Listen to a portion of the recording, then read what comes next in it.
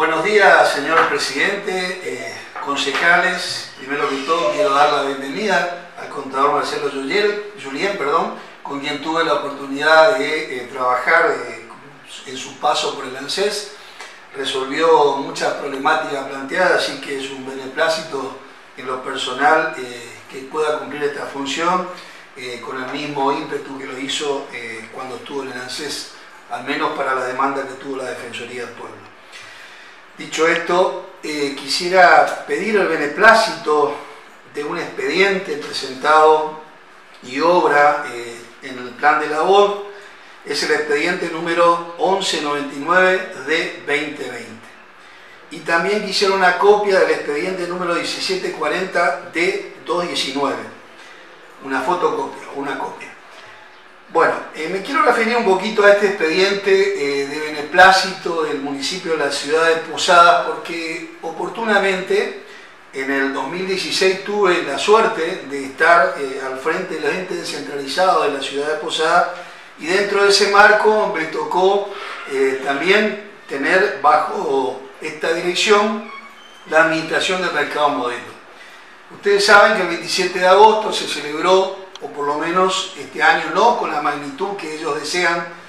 eh, un aniversario más. Y en el 2016 iniciamos este proceso junto a la gestión del,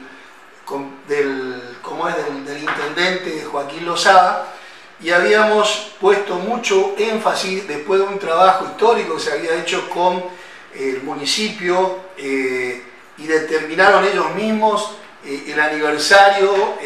la fecha, el 27 de agosto, producto de que esa fecha fue el último eh, vendedor que había ingresado al mercado modelo después del incendio que todos tenemos en nuestra memoria y eh, que se produjo en el año 83 y en, la vuelta, digamos, se determinó esa fecha como una fecha. Obviamente producto de la, de la decisión de los vendedores que están trabajando en el mercado modelo. Por eso justamente yo por ahí haciendo un repaso rápidamente y por qué es importante eh, el beneplácito por parte del municipio con respecto a este, este, evento, por decirlo, que más allá que no se pueda configurar, dada la circunstancia, como un evento de carácter eh, público, donde unifiquemos eh, miradas y pensamientos y emociones, como se da en un acto o un encuentro, lo podemos seguir haciendo en la materia mm, digamos, en materia de reconocimiento de este, de este espacio y de lo que significa el mercado modelo, no solamente a nivel local, sino a nivel nacional y a nivel mundial, porque obviamente han pasado por ese espacio inclusive eh, personas muy reconocidas eh, del mundo artístico y que han venido de otros países y han querido conocer el mercado modelo. Entonces, creo que tiene una significación muy importante como para que nosotros desde el lugar que estamos no hagamos un beneplácito. Acuérdense que el origen del mercado modelo no es en el lugar inicial, sino fue el mercado Feria al Norte, que le decían históricamente, ahí por la calle Roque Pérez, eh, había una, una, un lugar especial que después se transformó en una especie de mercado y obviamente eh, estaba muy directo, relacionado y muy directamente al al puerto, donde venían las villenas y hacían su, venta en la parte externa. Esto generó, eh, en, el, digamos, en, un proceso que los llevó al lugar que hoy está este, ubicado en Roque Peña y Sarmiento. De acuerdo a la historia, nosotros podemos decir que es un proyecto que tiene inicio en el año 56 y fue inaugurado en el 61 eh, por el gobernador en ese entonces, César Napoleón Airaúl, ¿no? O sea, Surí tiene un origen del siglo XIX. No es un dato menor eh, poder darle un beneplácito a este espacio, eh, porque obviamente eso se fue configurando y fue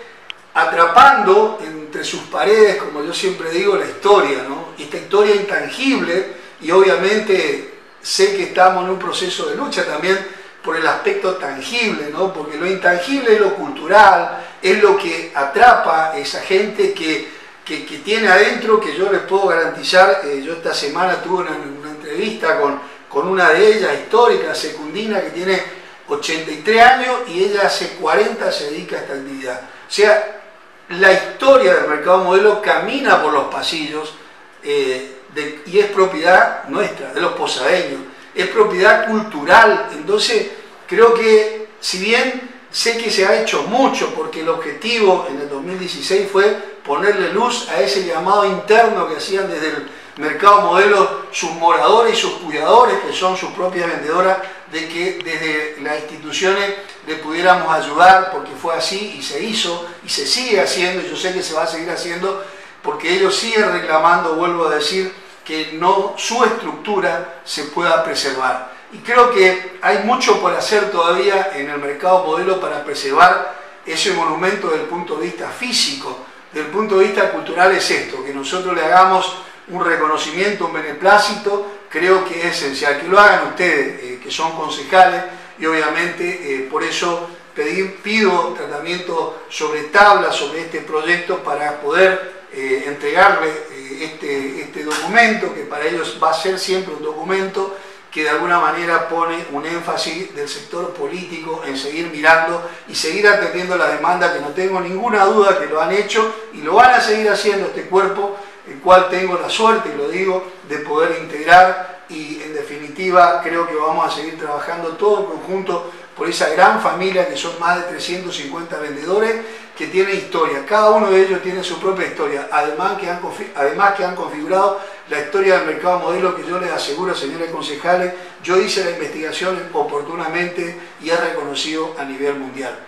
Nada más, señor presidente, eh, el expediente, por la duda, repito, es el expediente